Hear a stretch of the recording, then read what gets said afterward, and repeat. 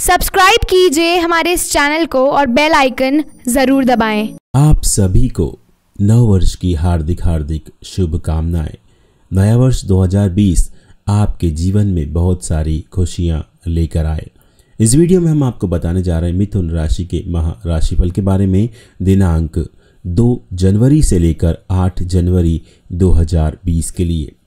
मिथुन राशि के ये वीडियो ज़्यादा से ज़्यादा उन सभी मिथुन राशि वाले बंधुओं तक भाई बहनों तक ज़रूर शेयर करें, जिनकी राशि मिथुन है। मिथुन राशि के और भी वीडियोस पाने के लिए हमारे इस चैनल को ज़रूर सब्सक्राइब करें, साथ ही साथ बेल आइकन ज़रूर दबाएँ।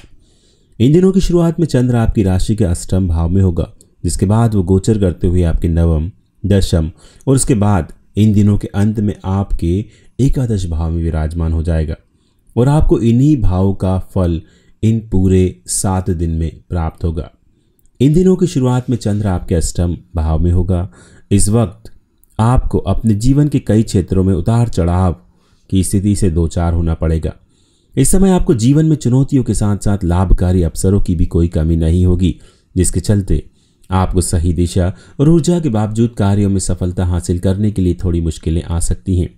इसलिए सबसे बेहतर होगा कि जल्दबाजी में कोई भी फैसला ना लेते हुए शांति से किसी भी निर्णय को लें। अन्यथा भविष्य में कोई परेशानी हो सकती है। इसके बाद चंद्र के आपके नवम भाव में प्रवेश करने से आपको धर्म और आध्यात्म की ओर अपना रुझान अधिक नज़र आएगा, जिसके चलते आप धार्मिक कार्यक्रमों और आयोजनों में शिरकत करते हुए भी दिखाई देंगे। साथ ही आपको किसी धार्मिक तीर्थ स्थल पर जाने का अवसर भी प्राप्त हो सकता है। इस यात्रा पर आप खर्च भी करेंगे, जिसका कोई भी असर आर्थिक स्थिति पर नहीं पड़ेगा। इसके बाद चंद्र इन दिनों के मध्य में आपके दशम भाव में गोचर कर जाएगा, जिसके चलते आप कार्य क्षेत्र पर अपनी जिम्मेदारियों का सही निर्वाह करेंगे। आप हर काम को अपनी लग्न और मेहनत के दम पर समय पर पूरा करने में समर्थ भी होंगे। आपकी यही मेहनत और काम के प्रति आपकी लगन आपको भविष्य में अच्छा लाभ देगी। इसके बाद इन दिनों के अंत में चंद्र के एकादश भाव में विराजमान होने से आपको भाग्य का साथ मिलेगा।